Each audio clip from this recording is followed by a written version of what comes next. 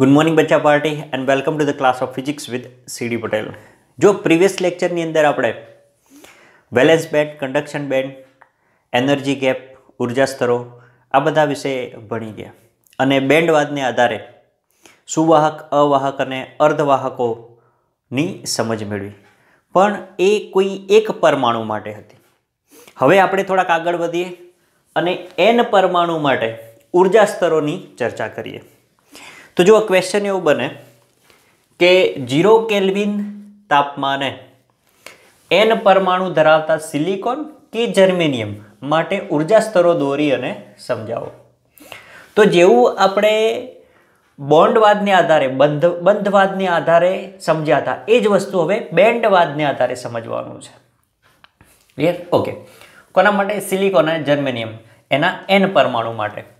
તો જુઓ, આપણે પહેલાં સિલિકોન અને જર્મેનિયમની વાત કરીએ. તો જુઓ સિલિકોન એસઆઈ તો આ જે સિલિકોન છે, એ સિલિકોનનો પરમાણુ ક્રમાંક, ખબર છે આપણને? કે ભાઈ એનો પરમાણુ ક્રમાંક ચૌદ છે. ચલો, જોડે જોડે જર્મેનિયમની પણ વાત કરીએ આપણે. અને આ જર્મેનિયમનો જર્મેનિયમ એનો પરમાણુ ક્રમાંક પરમાણુ ક્રમાંક. બોલો કેમેસ્ટ્રીના નિષ્ણાત સ્ટુડન્ટો બોલો, ક્રમાંક ક્રમાંક. કેટલો છે? બકરી કે બત્રીસ? બત્રીસ. ક્લિયર ઓકે તો આ સિલિકોનની સંરચના ઇલેક્ટ્રોનિક સંરચના કેવી થાય? તો જો one S two two S two two P six, three S two, three P two છે. ક્લિયર બેન બે, ચાર છ, દસ ને ચાર, ચૌદ. ઓકે અને આ એક એ શું દર્શાવે છે? મુખ્ય ક્વોન્ટમ અંક. એન બરાબર એક પહેલી કક્ષા. એન બરાબર ટુ. બીજી કક્ષા, મુખ્ય ક્વોન્ટમ અંક. અને એન બરાબર થ્રી ત્રીજી કક્ષા. તો જો પહેલી અને બીજી એ પૂર્ણ ભરાયેલી છે. બરાબર? પહેલી કક્ષામાં બે, આઠ આઠ, બરાબર? એ પ્રમાણે ઇલેક્ટ્રોન ગોઠવાય છે, આપણને ખ્યાલ છે. કઈ શેલમાં હોય? તો આ કે શેલ, કે કવચમાં. આ એલ કવચમાં. આ એમ કવચમાં. તો જો આ પહેલી બે જે શેલ છે અથવા તો કક્ષાઓ છે, એ પૂર્ણ ભરાયેલી છે. અને આ જે ત્રીજી કક્ષા છે, એ કેવી છે? અપૂર્ણ છે. અને એની બાહ્ય કક્ષામાં કેટલા ઇલેક્ટ્રોન છે? મુક્ત ઇલેક્ટ્રોન. ચાર મુક્ત ઇલેક્ટ્રોન છે. બરાબર? બાહ્યતમ કક્ષામાં બાહ્યતમ કક્ષામાં ચાર મુક્ત ઇલેક્ટ્રોન છે. હા. અથવા તો બાહ્યતમ કક્ષા આપણે જો અહીંયા લખીએ તો કેટલી છે? થ્રી એસ ટુ અને થ્રી પી ટુ. એટલે બાહ્યતમ કક્ષામાં એના લખો ડાયરેક્ટ લખી દઈએ. ચલો ને. કે બાહ્યતમ કક્ષામાં ચાર મુક્ત ઇલેક્ટ્રોન છે. આપણને ખબર છે. એ જ રીતે જર્મેનિયમની અંદર પણ એ જ વસ્તુ છે. તો બોલો, એની ઇલેક્ટ્રોનની સંરચના શું થશે? તો one S two two S two two P six three S two three P six three D ten four S two અને ફોર પી ટુ ક્લિયર ચલો, તો આ પ્રમાણે થશે. બેન બે ચાર ને છ દસ. દસ ને છ સોળ ને બે અઢાર ને દસ અઠ્યાવીસ. અઠ્યાવીસ ને બે ત્રીસ ને બે બત્રીસ. ક્લિયર ઓકે તો આની અંદર જુઓ. એન બરાબર વન કઈ સેલ આવશે? કે સેલ અહીંયા આગળ એન બરાબર ટુ એલ એન બરાબર થ્રી મુખ્ય ક્વોન્ટમ અંક. કેટલો આવશે એમ અને જુઓ ચોથી કક્ષા એન બરાબર ફોર કે કે એલ એમ એન તો જુઓ આની અંદર પણ આ જે ત્રણ કક્ષાઓ છે, એ ત્રણ કક્ષાઓ પૂર્ણ ભરાયેલી છે. બરાબર? બે, આઠ, અઢાર એ બત્રીસ, એ પ્રમાણે. અને આ જે છે, એ અપૂર્ણ છે. તો આની છેલ્લી કક્ષાની અંદર પણ જુઓ કેટલા ઇલેક્ટ્રોન છે? તો ચાર મુક્ત ઇલેક્ટ્રોન છે. તો આની પણ બાહ્યતમ કક્ષામાં કેટલા ઇલેક્ટ્રોન છે? ચાર મુક્ત ઇલેક્ટ્રોન છે. ક્લિયર હવે એક પરમાણુમાં રહેલા ઇલેક્ટ્રોનની સંખ્યા આપણે જો મેળવવી હોય, તો એક પરમાણુમાં બાહ્યતમ કક્ષામાં ઇલેક્ટ્રોનને રહેવા માટે કેટલા, કેટલી જગ્યા રોકે તો જો આની અંદર વાત કરીએ તો કેટલી છે? આઠ. બરાબર? એની વેલેન્સી કેટલી? સોરી જગ્યા કેટલી રોકે આઠ. બે વત્તા છ. આ એસ અને પી છે ને? એસની બે અને પીની ત્રણ પેટા કક્ષકો એમાં ત્રણ. એટલે ત્રણ અને ત્રણ દુ છ ઇલેક્ટ્રોન અને આમાં બે ઇલેક્ટ્રોન. એટલે ટોટલ આઠ ઇલેક્ટ્રોન. એટલે આમ એક પરમાણુમાં, જુઓ, એક પરમાણુમાં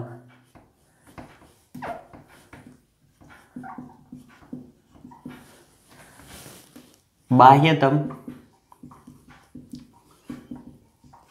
કક્ષામાં ઇલેક્ટ્રોનને રહેવા માટે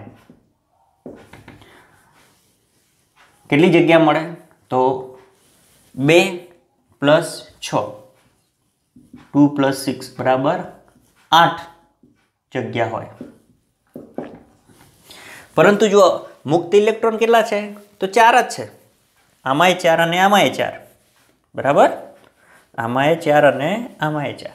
એટલે આની અંદર આ પરમાણુમાં સિલિકોન અથવા તો જર્મેનિયમ સિલિકોન અથવા તો જર્મેનિયમના પરમાણુમાં. આપણે હાલ એક પરમાણુ લઈએ, પછી એન પરમાણુ માટે લખીએ. તો આ સિલિકોન અથવા તો જર્મેનિયમના પરમાણુમાં રહેનારા રહેનારા ઇલેક્ટ્રોન કેટલા? તો કે ચાર.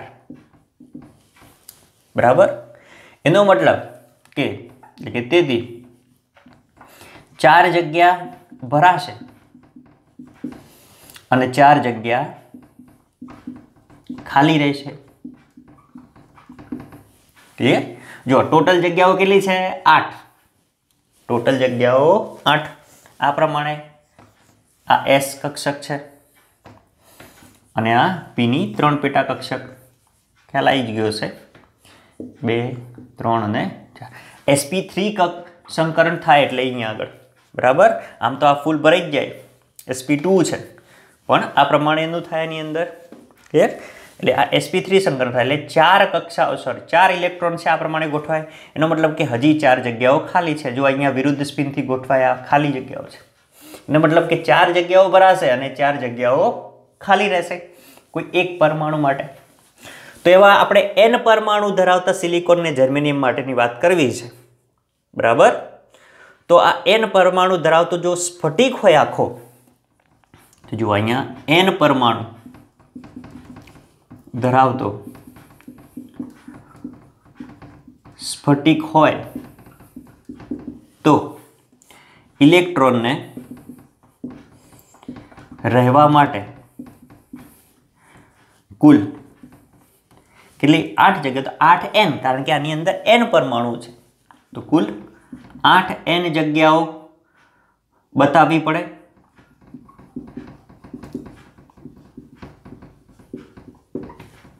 કેટલી જગ્યાઓ બતાવવી પડે? આઠ એન જગ્યાઓ બતાવવી પડે. એની અંદર ચાર એન જગ્યાઓ ભરાશે અને ચાર એન જગ્યાઓ ખાલી રહેશે. બરાબર? અને તેમાં રહેનારા કેટલા? તો રહેનારા ફોર એન એનો મતલબ કે ચાર એન જગ્યા ભરાશે. અને ચાર એન જગ્યા ખાલી રહેશે. ક્લિયર જો આ એન પરમાણુ માટે લખ્યું આપણે, આ કોઈ એક પરમાણુ માટે, એ પ્રમાણે આપણે એન પરમાણુ માટે લખ્યું. ક્લિયર તો ચાર એન જગ્યાઓ ભરાશે અને ચાર એન જગ્યાઓ ખાલી રહેશે. ક્લિયર તો જો આપણે એન પરમાણુ માટે અહીંયા આગળ હું બેન્ડ ડાયાગ્રામ બતાવું જો, તો એક મિનિટ. તો જો, અહીંયા આગળ આપણે આ ઊર્જા સ્તરો અહીંયા બેન્ડમાં બતાવીએ.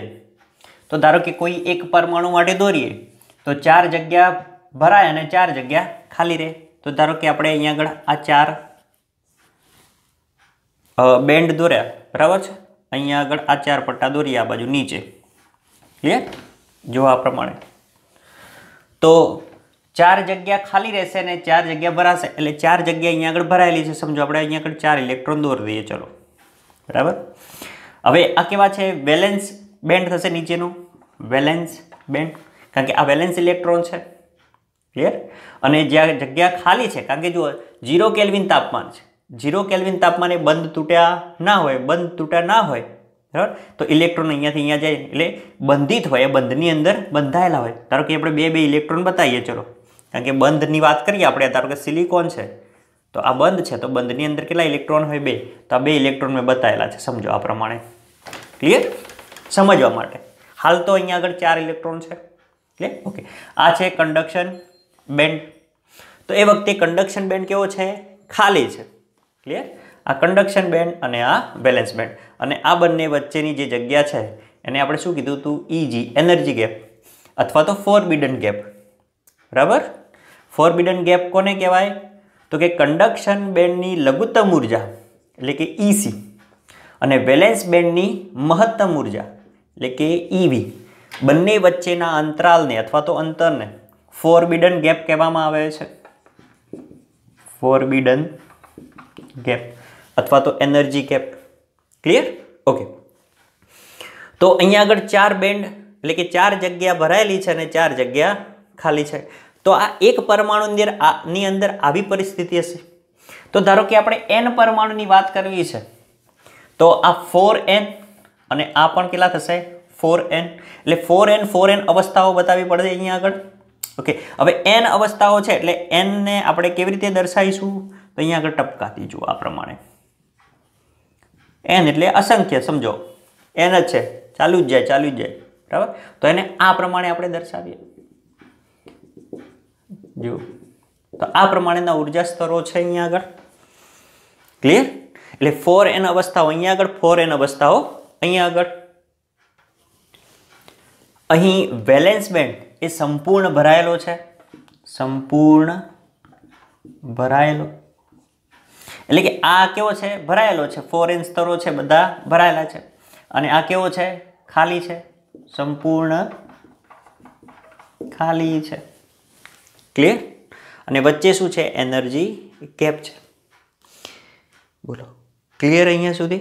બરાબર? એટલે આ વસ્તુ ઝીરો કેલ્વિન તાપમાન તાપમાન, એટલે કે નિરપેક્ષ શૂન્ય તાપમાને. નિરપેક્ષ શૂન્ય તાપમાને.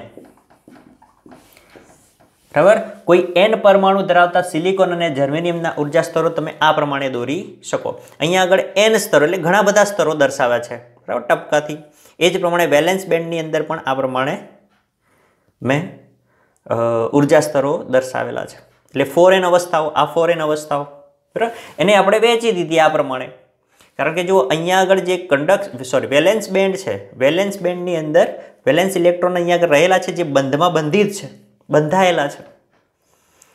બરાબર? અને ઉપર કંડક્શન બેન્ડ હાલ પૂરતો ખાલી છે નિરપેક્ષ શૂન્ય તાપમાન માટે. ક્લિયર તો એના ઊર્જા સ્તરો આપણે આ પ્રમાણે દર્શાવી શકીએ. અને છેલ્લે આપણે આની ફોરબિડન ગેપની વ્યાખ્યા લખેલી છે. તો ફોરબિડન ગેપ કોને કહેવાય? તો કે કન્ડક્શન બેન્ડની લઘુત્તમ ઊર્જા ઇસી અને વેલેન્સ બેન્ડની મહત્તમ ઊર્જા ઈવી વચ્ચેના અંતરાલને, વચ્ચેના અંતરને ફોરબિડન ગેપ કહેવામાં આવે છે. Forbidden gap EG clear okay હવે જો આપણે કોઈ નિરપેક્ષ શૂન્ય તાપમાને શુદ્ધ અર્ધવાહક લઈ લઈએ કોની વાત કરીએ આપણે? શુદ્ધ અર્ધવાહક તો શુદ્ધ અર્ધવાહક તરીકે આપણે ધારો કે સિલિકોન લઈ લઈએ. તો સિલિકોનની અંદર જો આ પ્રમાણે ચાર સ્તરો, એટલે ફોર એન લખીએ, અથવા તો આ જ આ જ ડાયાગ્રામની અંદર હું તમને બતાવું. સોરી ચલો આનેથી અલગથી જ બતાવું છું. તો જુઓ ફોર ઇલેક્ટ્રોન અહીંયા ચાર જગ્યાઓ ભરાશે અને ચાર જગ્યાઓ ખાલી હોય. એટલે આ થઈ ગયો બેલેન્સ બેન્ડ અને આ કન્ડક્શન બેન્ડ છે. ક્લિયર વચ્ચે ઇજી એનર્જી કેપ આ ઈ સી અને આ ઈ વી તો જુઓ, શુદ્ધ અર્ધવાહકની વાત કરીએ નિરપેક્ષ શૂન્ય તાપમાને. તો નિરપેક્ષ શૂન્ય તાપમાને શુદ્ધ અર્ધવાહકમાં ઇલેક્ટ્રોન જે છે એ બંધમાં બંધાયેલા છે. ધારો કે આ બંધમાં જો ઇલેક્ટ્રોન, બે ઇલેક્ટ્રોન આ પ્રમાણે બતાવ્યા પછી ઇલેક્ટ્રોન અહીંયા બતાવે બતાવે. તો નિરપેક્ષ શૂન્ય તાપમાને ઇલેક્ટ્રોન છે એ બધા બંધિત છે અને બંધિત છે એ વખતે એ અવાહક તરીકે વર્તે છે. બરાબર શુદ્ધ અવાહક જે છે એ નિરપેક્ષ શૂન્ય તાપમાને કેવો છે? અવાહક. કારણ કે બધા જ ઇલેક્ટ્રોન બંધમાં બંધાયેલા છે. એટલે અવાહકની જેમ વર્તે છે. પરંતુ ઓરડાના તાપમાને જો અહીંયા આગળ. આ હતું જીરો કેલ્વિન તાપમાને. પરંતુ ઓરડાના તાપમાને જોશો તમે, ઓરડાના તાપમાને. તો જો ઓરડાના તાપમાને શું થશે? તો ઓરડાના તાપમાને જે વેલેન્સ બેન્ડ છે, આ વેલેન્સ બેન્ડ અને આ કન્ડક્શન તો બંધો તૂટશે. બરાબર? સહસંયોજક બંધ શું થાય ઊર્જા મળે એટલે સહસંયોજક બંધ તૂટે. આ ઈ સી આ ઈ સોરી ઈવી ઈ વી આ ઈજી બરાબર? તો સહસંયોજક, ધારો કે અહીંયાથી આ સહસંયોજક બંધ તૂટે. બંધ તૂટશે એટલે એમાંથી ઇલેક્ટ્રોન જે છે, ઊર્જા મેળવી અને ક્યાં જશે? કન્ડક્શન બેન્ડમાં એ અહીંયા અહીં બેસી ગયો. તો એની જગ્યાએ શું પડે? એક હોલ પડે. બરાબર? હોલ રચાય. ક્લિયર એ જ પ્રમાણે ધારો કે આ બંધ તૂટે છે. વાહકતા ખૂબ જ ઓછી હોય એટલે બે ત્રણ બંધો આપણે તૂટતા બતાવીએ અહીંયા આગળ. વધારે બતાવવાના નહીં. તો ઇલેક્ટ્રોન અહીંયા આગળ. અને ઇલેક્ટ્રોન જે બેલેન્સ બેન્ડમાંથી કન્ડક્શન બેન્ડમાં જશે, એ ઇલેક્ટ્રોન શું કરશે? પ્રવાહ રચશે એ જ પ્રમાણે અહીંયા આગળ હોલ ક્રિએટ થયો. તો હોલ પણ સેમિકન્ડક્ટરની અંદર પ્રવાહ રચે છે. તો અહીંયાથી જે ઇલેક્ટ્રોન છે, એ ઇલેક્ટ્રોન અહીંયાથી અહીંયા આવશે. એ જ પ્રમાણે ઇલેક્ટ્રોન અહીંયાથી અહીંયા આવશે. આમ આની અંદર ઇલેક્ટ્રોન અને હોલના કારણે વિદ્યુત પ્રવાહનું વહન થશે. થાય છે. ક્લિયર તો આ વાત કરી મેં ઓરડાના તાપમાને, કોઈ શુદ્ધ અર્ધવાહકની અને જીરો કેલ્વિન તાપમાને કોઈ શુદ્ધ અર્ધવાહકની. બરાબર? અને એના સિવાય આપણે જીરો કેલ્વિન તાપમાને એન પરમાણુ ધરાવતા સિલિકોન અને જર્મેનિયમ માટે ઊર્જા સ્તરોની વાત કરેલી છે અહીંયા આગળ. બરાબર? જો થિયરી છે એ મટીરિયલ હું વોટ્સઅપ કરીશ અથવા તો જે તે પ્રકાશનમાંથી તમે લખી શકો છો. ક્લિયર ઓકે તો આ પ્રમાણે છે. હવે શુદ્ધ અર્ધવાહકો પછી આપણે અશુદ્ધ અર્ધવાહકોની વાત કરીએ. અશુદ્ધ અર્ધવાહકોમાં એન પ્રકારના અને પી પ્રકારના અર્ધવાહકો. એની આપણે ઊર્જા સ્તરોની આકૃતિ દોરી અને સમજીએ. તો જુઓ એન અને પી પ્રકારના અર્ધવાહકો બેન્ડવાદને આધારે સમજાવો. તો અહીંયા આગળ એન પ્રકારના અર્ધવાહક અને અહીંયા પી પ્રકારના અર્ધવાહકની આપણે ચર્ચા કરીશું. તો જુઓ, પહેલાં આપણે ટી બરાબર ઝીરો કેલ્વિન તાપના, તાપમાને એટલે કે નિરપેક્ષ શૂન્ય તાપમાને આપણે કોઈ એક શુદ્ધ અર્ધવાહક લીધેલો છે. ધારો કે શુદ્ધ અર્ધવાહક સિલિકોનની વાત કરીએ, તો સિલિકોનની એનર્જી ગેપ છે one point one electron volt EV અને જર્મેનિયમની ઇજી છે, એટલે કે એનર્જી ગેપ છે પોઈન્ટ સેવન ઇલેક્ટ્રોન વોલ્ટ કેમ સર એવું બંને એક જ સમૂહના તત્વો છે, તો આની વધારે અને આને ઓછી કેમ? તો જુઓ, આ એક વસ્તુ તમને સમજાવું. તો આ સિલિકોન છે.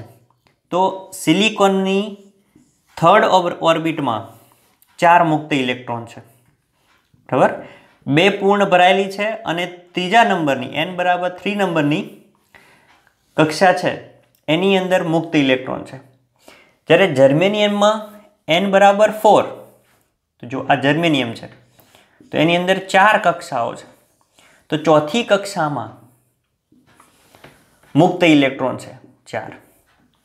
તો જો અહીંયા ત્રીજી કક્ષાના ઇલેક્ટ્રોન છે, એ આ સિલિકોનના અણુ સાથે સ્ટ્રોંગ ન્યુક્લિયર ફોર્સથી જકડાયેલા હશે.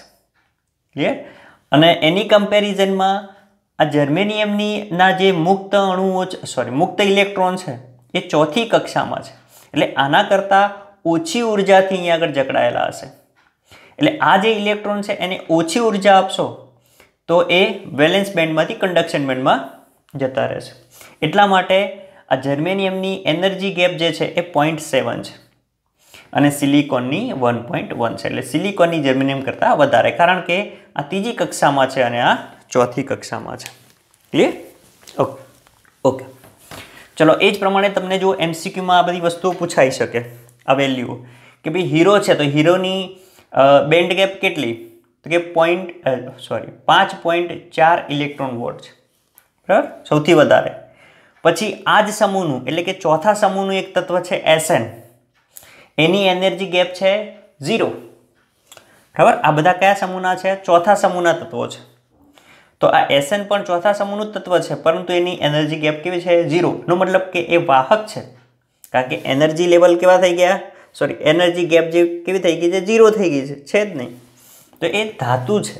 ધાતુ તરીકે વર્તે ક્લિયર તો આ જે વસ્તુ છે, એ તમારે નોંધી રાખવાની એમસીક્યુની અંદર પૂછાઈ શકે. ક્લિયર ઓકે ચલો આપણે વાત કરીએ એન પ્રકાર અને પી પ્રકારના અર્ધવાહકની.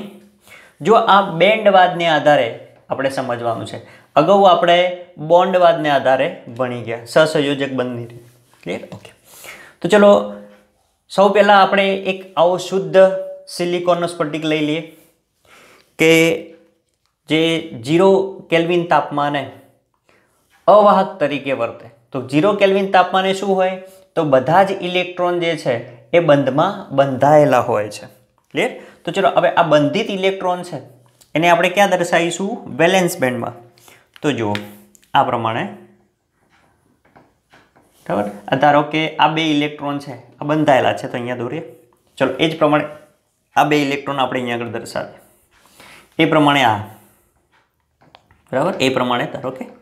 આ પ્રમાણે વેલેન્સ બેન્ડની અંદર બંધિત ઇલેક્ટ્રોન દર્શાવેલા છે. ત્યારે ટી બરાબર જીરો કેલ્વિન તાપમાને.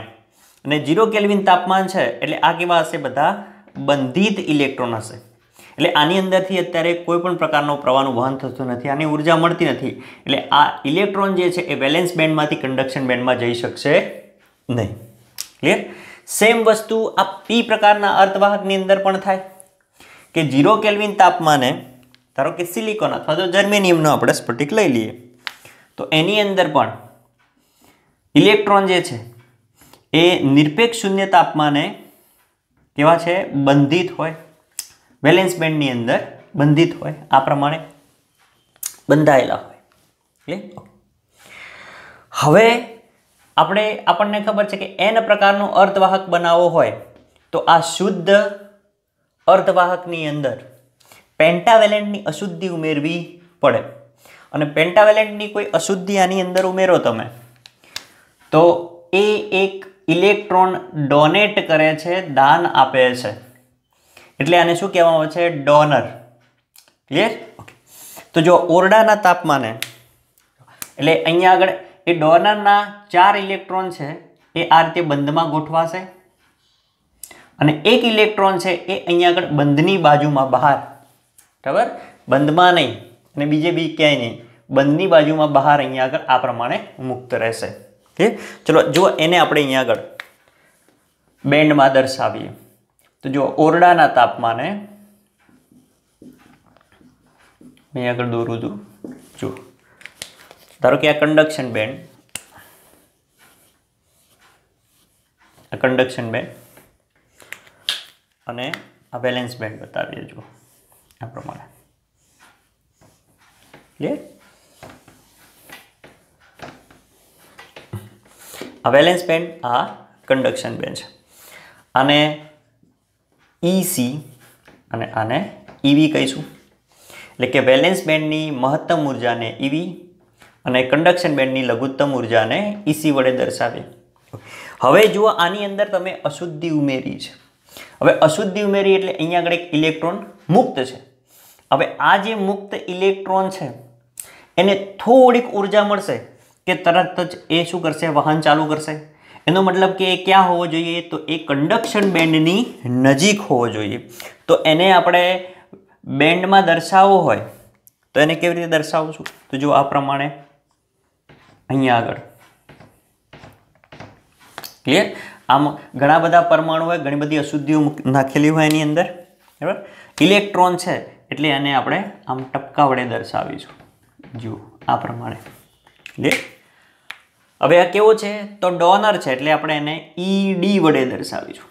તો આ ડોનરનું ઊર્જા સ્તર થઈ ગયું. અને આ ડોનરનું ઊર્જા સ્તર જે છે, એ કોની નજીક હોય? તો કન્ડક્શન બેન્ડની નજીક. આ કન્ડક્શન બેન્ડ આ વેલેન્સ બેન્ડ ક્લિયર કારણ કે જુઓ, આને થોડીક ઊર્જા કારણ કે આ કેવો છે? મુક્ત છે. મુક્ત છે એટલે કોની નજીક હશે? કન્ડક્શન બેન્ડની તરત જ થોડીક ઊર્જા કેટલી? તો ઝીરો પોઈન્ટ ઝીરો વન. આટલી ઊર્જા આપશો. કે તરત જ એ અહીંયાથી ક્યાં ચાલી જશે? ઉપર ચાલશે. ક્લિયર હવે એ વખતે આ બંધિત ઇલેક્ટ્રોન તો દર્શાવવાના જ આની અંદર. જો આ તો છે જ. બંધિત ઇલેક્ટ્રોન આની અંદર તો છે જ. ક્લિયર પણ આની અંદર આપણે જ્યારે અશુદ્ધિ ઉમેરીએ છીએ તો એ વખતે આની અંદર ઉમેરેલી અશુદ્ધિ, બરાબર? ધારો કે એન પ્રકારનો છે એટલે ત્યાં શું હોય? ઇલેક્ટ્રોન જ હોય. અને ઇલેક્ટ્રોન એટલે આ જે અશુદ્ધિ છે પેન્ટાવેલેન્ટ એ ઇલેક્ટ્રોનને ડોનેટ કરવાની, આપવાની વૃત્તિ ધરાવે છે. એટલે આ ઈડી ઊર્જા સ્તર બતાવી દીધું અહીંયા આગળ. અને જે ડોનેટ થયેલા જે ઇલેક્ટ્રોન છે, એ બધા અહીંયા કન્ડક્શન બેન્ડની નજીક આ પ્રમાણે બેસી જશે.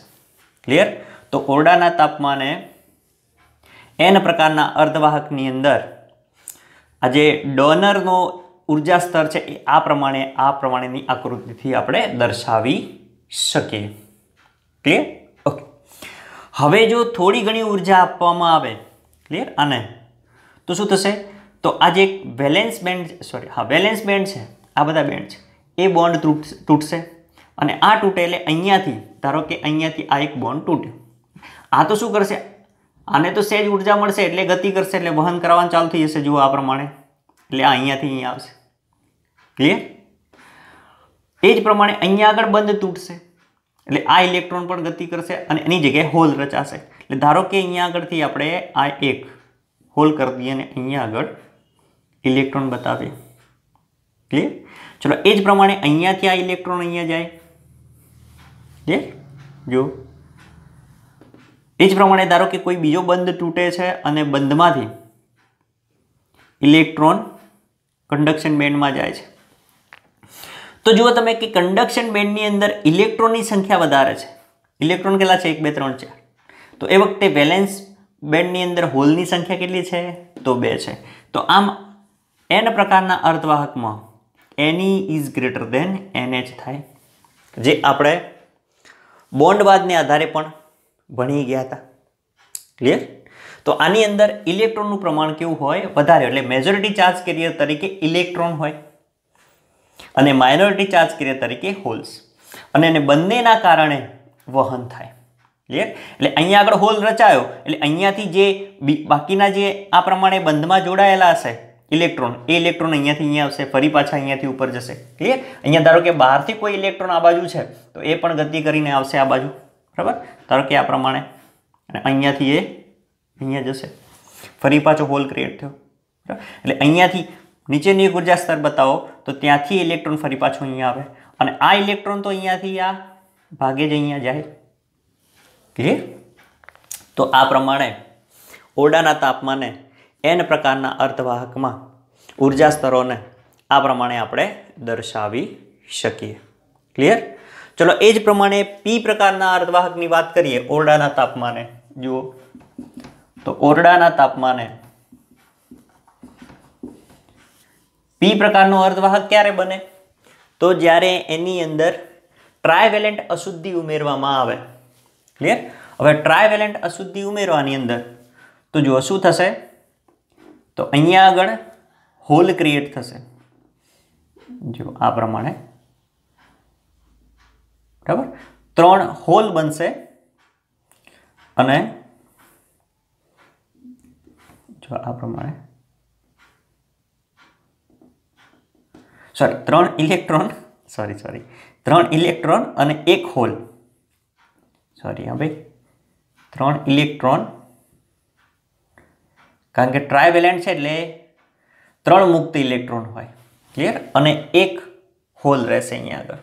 એટલે આની અંદર હોલનું પ્રમાણ વધી જશે. તો જો હોલનું પ્રમાણ વધી જાય અહીંયા આગળ.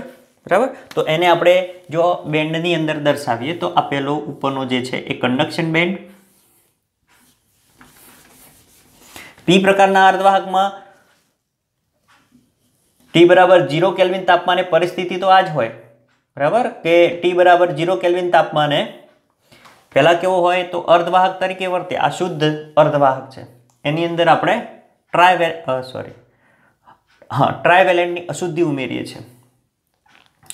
તો શું થશે? તો જુઓ, એક આપણને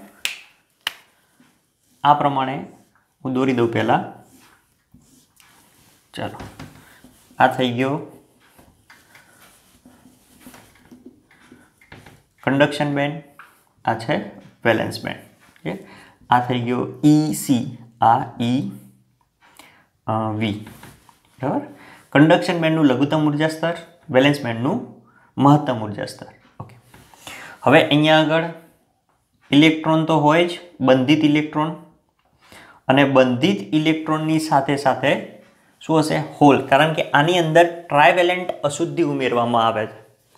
અને ટ્રાયવેલેન્ટ અશુદ્ધિ આની અંદર ઉમેરો તમે, તો હા, તો જો પી પ્રકારના અર્ધવાહકની અંદર અશુદ્ધિ ઉમેરો તમે, તો એની અંદર એક હોલ બને. ક્લિયર તો આની એની અંદર હોલની સંખ્યા વધે છે. તો અહીંયા આગળ આપણે બેલેન્સ બેન્ડની અંદર આપણે હોલ દર્શાવવા પડે. જો. ક્લિયર અહીંયા આગળ હોલ દર્શાવવા પડે. હોલની સંખ્યા બતાવવી પડે એની અંદર. ક્લિયર ઓકે જો આ પ્રમાણે. હવે અહીંયા જે હોલ્સ છે, એ ઇલેક્ટ્રોનને એક્સેપ્ટ કરવાનો ગુણધર્મ ધરાવે છે. ક્લિયર તો જુઓ. પહેલાં તો આ જે હોલ્સ છે, એ ક્યાં છે? તો બોન્ડની નજીક છે. આ જે બંધ છે, એ બંધની અંદર છે. હોલ. એટલે એ એનું સ્તર ક્યાં દર્શાવવાનું? તો જુઓ, એ બેલેન્સ બેન્ડની નજીક દર્શાવવું પડશે આપણે. એટલે અહીંયા આગળ થશે. જો આ પ્રમાણે. ક્લિયર? અને અહીંયા આગળ શું દર્શાવવાના? હોલ. અને કેવું કહેવાય? એક્સેપ્ટર. એટલે આ ઈ એ થશે. બરાબર? એટલે ઈ એ ઊર્જા સ્તર જેમ આની અંદર ઈ ડી બરાબર? ડોનર ઊર્જા સ્તર હતું. એ પ્રમાણે અહીંયા આગળ એક્સેપ્ટર ઊર્જા સ્તર. બરાબર? એક્સેપ્ટર ઊર્જા સ્તર. ક્લિયર ઓકે એટલે અહીંયાથી હવે આ જે ઇલેક્ટ્રોન છે, થોડી ઘણી તમે ઊર્જા આપશો ઓરડાના તાપમાને. બરાબર? ઊર્જા આપશો. એટલે અહીંયા આગળ આ પ્રમાણે દરેકમાં હોલ્સ ક્રિએટ થાય. ચલો, આ બંધની અંદર પણ આ પ્રમાણે હોલ્સ હોય. ક્લિયર એ પ્રમાણે બીજે ક્યાંક અશુદ્ધિ હશે તો ત્યાં આગળ પણ હોલ્સ ક્રિએટ થયો હશે. ઓકે? તો હવે બંધ તૂટશે એટલે ઇલેક્ટ્રોન અહીંયાથી છૂટો પડે તો ઇલેક્ટ્રોન અહીંયાથી છૂટો પડે એ આગળ હોલ્સમાં બેસી જાય. બરાબર? તો અહીંયા આગળ હોલ બને અને આ ઇલેક્ટ્રોન ભરાઈ ગયો. આમ હોલ પણ ગતિ કરે છે. બરાબર? ઇલેક્ટ્રોન પણ ગતિ કરે. એટલે અહીંયા આગળથી આ જે ઇલેક્ટ્રોન છે, થોડી ઘણી ઊર્જા મળશે. ધારો કે હું આ પ્રમાણે દર્શાવું છું. ધારો કે આ ઇલેક્ટ્રોન છે. તો અહીંયાથી થોડી ઘણી ઊર્જા મળશે, તો ક્યાં જશે? ઉપર જશે. અને આ ઇલેક્ટ્રોન અહીંયા આવશે. ક્લિયર હવે ઉપર જતી વખતે વચ્ચે ધારો કે હોલ આવશે, તો હોલ જે છે એ ઇલેક્ટ્રોનને આકર્ષવાની વૃત્તિ ધરાવશે એટલે આ ઇલેક્ટ્રોન છે એ અહીંયા આગળ બેસી જશે. અહીંયા ફરી પાછો હોલ ક્રિએટ થઈ ગયો. ક્લિયર ઓકે ચલો, એ જ પ્રમાણે અહીંયા આગળથી આ ઇલેક્ટ્રોન અહીંયા જશે. અહીંયા આગળ હોલ ક્રિએટ થશે. એ જ પ્રમાણે અહીંયાથી આ ઇલેક્ટ્રોન છે, ધારો કે અહીંયા બેસી જાય છે, તો અહીંયા આગળ હોલ ક્રિએટ થાય છે. તો તમે અહીંયા આગળ જુઓ તો વેલેન્સ બેન્ડની અંદર છે ઓ હોલની સંખ્યા વધે છે. અને હોલને કારણે વિદ્યુત પ્રવાહનું વહન મળે છે. જો આની અંદર હોલની સોરી ઇલેક્ટ્રોનની સંખ્યા જુઓ, તો કન્ડક્શન બેન્ડની અંદર ઇલેક્ટ્રોનની સંખ્યા બે છે. જ્યારે હોલ્સની અંદર વેલેન્સ બેન્ડની અંદર હોલ્સની સંખ્યા વધારે છે. તો NH is very greater than NE અને હોલ્સ એ ધન વિદ્યુત ભારની જેમ વર્તતો હોવાથી એને પોઝિટિવ પી અને પી ઉપરથી પી પ્રકારનો અર્ધવાહક કહેવામાં આવે છે. તો જો આ અર્ધવાહકની અંદર ઓરડાના તાપમાને ઊર્જા લેવલ્સને આપણે આ પ્રમાણે બતાવી શકીએ. તો તમને આકૃતિ આપેલી હોય, તમને એમસીક્યુમાં પૂછે, બરાબર કે નીચેનામાંથી કઈ આકૃતિ એન પ્રકારના અર્ધવાહકની કઈ છે, કઈ આકૃતિ પી પ્રકારના અર્ધવાહકની છે, તો આપણને ખ્યાલ હોવો જોઈએ. પછી આ પ્રમાણે પણ પૂછે કે ભાઈ એક્સેપ્ટરનું ઊર્જા સ્તર છે, એ કયા બેન્ડની નજીક દર્શાવવામાં આવે?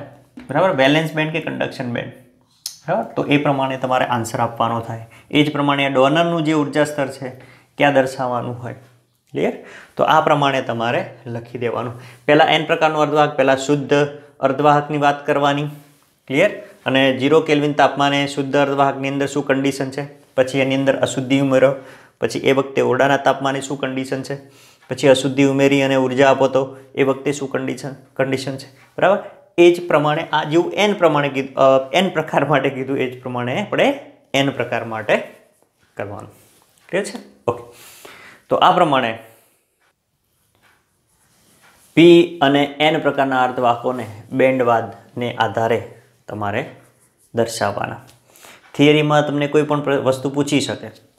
કે એન પ્રકારના કે પી પ્રકારના અર્ધવાહકો બેન્ડવાદને આધારે સમજાવો અથવા તો બોન્ડવાદને આધારે સમજાવો. ખાસ વાંચવાનો ક્વેશ્ચન અને એના ઉપરથી આપણે આન્સર લખવાનો થાય. બરાબર? આનું લખાણ તમે કોઈપણ પ્રકાશનમાંથી જોઈ અને લખી દેજો. આ પ્રમાણે લખશો. બરાબર? તો વાંધો આવશે નહીં. ક્લિયર ઓકે તો આજે આટલું. મળીએ નેક્સ્ટ લેક્ચરમાં ત્યાં સુધી ભણતા રહો.